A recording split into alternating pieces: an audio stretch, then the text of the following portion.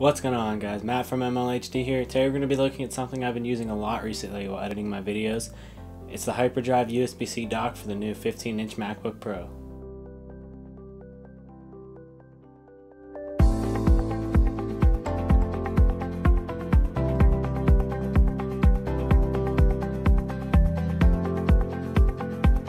The only thing that comes in the box is the adapter itself. I picked this up at Best Buy right after their Kickstarter finished even with the pricey $100 price tag, I was still really excited to get one.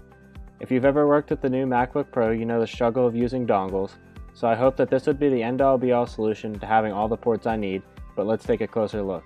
The dock comes in two colors to match the two new MacBook Pro colors, silver and space gray that I have here. The colors are pretty close but not exact when they are put side by side to the laptop. On the inside you have the Hyperdrive logo and the two USB-C plugs.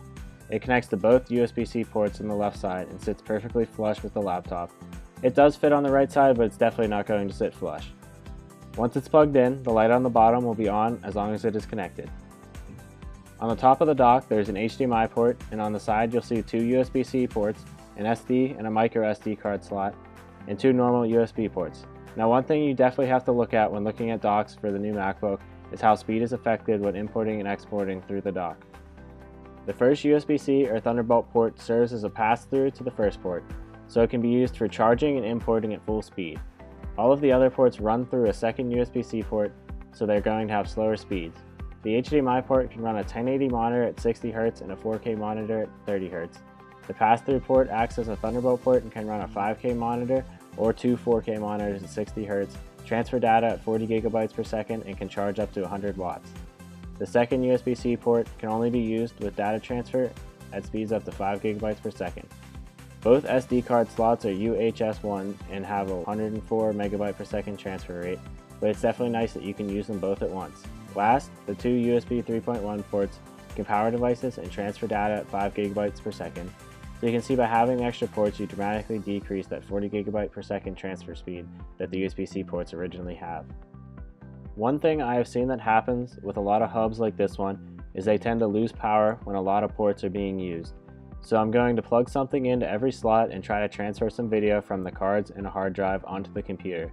I was definitely surprised to see that I could transfer video from a hard drive and two SD cards while still being able to charge three other devices from the remaining ports. So as you guys can see, this is a pretty complete package for the new MacBook Pro. I use it all the time and definitely love how it gives you all the ports in one package that is attached to the laptop itself and not hanging from a cord. However, for $100, I may be able to justify buying a cheaper dock that would do the same job for a lot less. Another thing that was kind of weird to me is how it's definitely designed to only be used on the left side, but the card slot is upside down whenever it's put into place. Either way, it's super helpful to be able to get the most out of your laptop. The Hyperdrive is a great all-around dock in a single cord-free package. It comes in both space gray and silver to match both the new MacBook colors. It has a nice metal finish and all of the features you could need for your laptop. I'd recommend the dock to someone who likes having everything in one streamlined package.